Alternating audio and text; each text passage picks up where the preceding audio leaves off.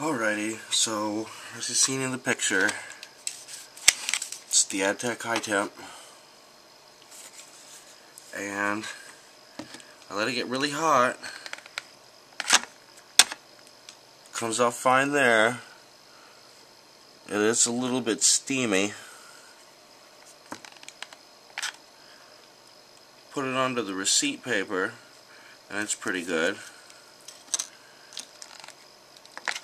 I put it on directly on the plastic and it does good. But for the love of yeah, don't put it on Dollar Tree foam board because it just bubbles up like crazy. Can you not see this? This is just crazy. It like boils on contact with the Dollar Tree foam board. The heck is going on here, man? Is it too hot? Do I need to get the variable temp one? Somebody let me know.